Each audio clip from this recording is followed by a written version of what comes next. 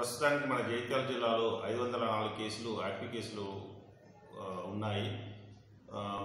మన జిల్లాలో ఇప్పటివరకు ఒక లక్ష ఒక వెయ్యి రెండు వందల డెబ్బై రెండు టెస్టులు చేయడం జరిగింది. అందులో తొమ్మిది వేల నూట పదిహేను కేసులు పాజిటివ్గా గుర్తించడం జరిగింది. అందులో రికవరీ ఎనిమిది వేల ఐదు వందల యాభై ఎనిమిది మంది రికవరీ అవ్వడం జరిగింది.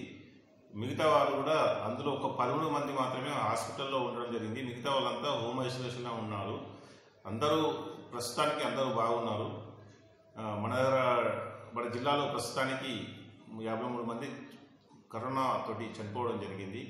ఇప్పుడు సీజన్ మన చలికాలం కాబట్టి చలికాలంలో చిన్నపిల్లలు కానీ మరియు పదిహేను లోపల పిల్లలు కానీ అరవై ఏళ్ళ పైన పడ్డ అందరూ ప్రజలు అందరూ త- జాగ్రత్తగా ఉండాలని వాళ్ళు ఎండ ఎండ ఉన్నప్పుడు పదకొండు గంటలు అత్యవసరమైతేనే పదకొండు నుంచి ఐదు గంటల లోపలనే బయటికి వెళ్ళాలని.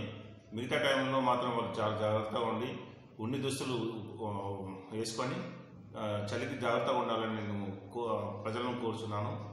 ఎవరైనా మిగతా వాళ్ళైనా కానీ జాగ్రత్తగా ఉండి అవసరం ఉంటేనే బయటికి వెళ్ళాలని ప్రతి ఒక్కరూ మాస్క్ ధరించాలని సోషల్ డిస్టెన్స్ మెయింటైన్ చేయాలని అంటే మినిమం రెండు మీటర్లు డిస్టెన్స్ మెయింటైన్ చేయాలని అవసరం ప్రతి ఒక గంటకు ఒకసారి చేతులు శుభ్రం చేసుకోవడం శానిటైజర్స్ తోటి కానీ లేదంటే సబ్బు నీళ్ళతోటి కానీ శుభ్రం చేసుకోవడం చేసుకుంటే మనం ఈ కరోనాను అతి త్వరలో మనం కంట్రోల్ చేయడానికి వీలుంటుంది.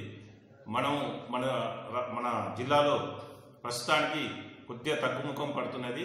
దీన్ని ఇట్లే పాటిస్తే మనం వన్ మంత్ లోపల మనం జీరోగా జీరో కరోనా కేసుల కింద మనం మన జిల్లా రికార్డు సృష్టించే అవకాశం ఉంది. కాబట్టి ప్రజలకు నేను విజ్ఞప్తి చేసేదనగా మీరు కంపల్సరీ మాస్క్ ధరించి సోషల్ డిస్టెన్స్ మెయింటైన్ చేసి ప్రతి గంటకు ఒకసారి శానిటైజ్ హ్యాండ్ హ్యాండ్ వాష్ చేసుకుని గ్రూపులలో గ్రూపులు ఉన్న కాడికి పోకుండా అవసరం ఉంటేనే బయటికి వెళ్ళి ఈ ఈ చలికి జాగ్రత్తగా ఉన్ని దుస్తులు వేసుకొని జాగ్రత్తగా ఉండాలని ఫుల్ కవర్ అయ్యే దుస్తులు వేసుకోవాలని చెప్పి నేను ప్రజలకు విజ్ఞప్తి చేస్తున్నాను.